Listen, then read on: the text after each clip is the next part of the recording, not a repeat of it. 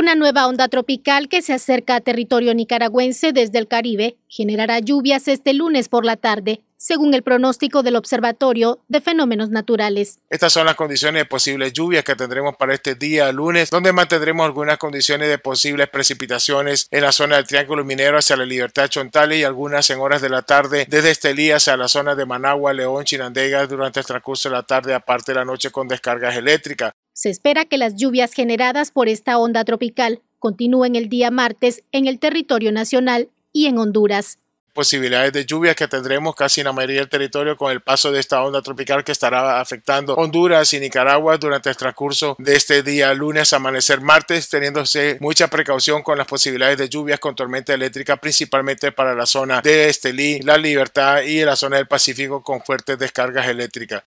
De acuerdo al monitoreo meteorológico del observatorio, en los próximos días Nicaragua y Centroamérica seguirán registrando lluvias debido al acercamiento de dos ondas tropicales más que se trasladan desde las Antillas Menores hacia la región. Walquiria Chavarría, Voz TV.